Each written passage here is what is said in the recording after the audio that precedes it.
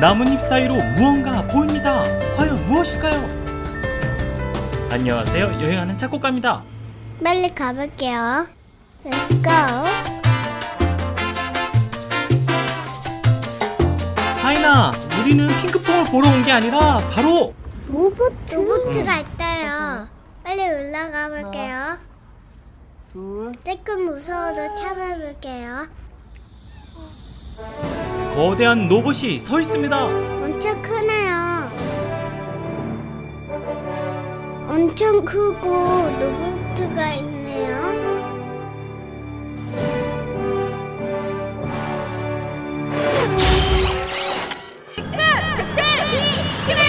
완벽한 성단 합체 파워 글루브 장착 위풍 단가 델타 트로 잼카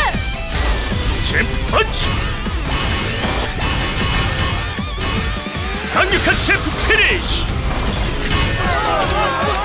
내 이름은 델타 바지 가랑이를 꽉 잡고 있는 화인이 이제는 로버트까지 있는 강서구입니다. 로버트만 있는 건 아니고요. 닌자 터틀의 닌자 거북이도 있습니다. 어 무서워요. 강서 영상 크리에이터 활동은 계속됩니다. 감사합니다. 여행하는 작곡가였습니다.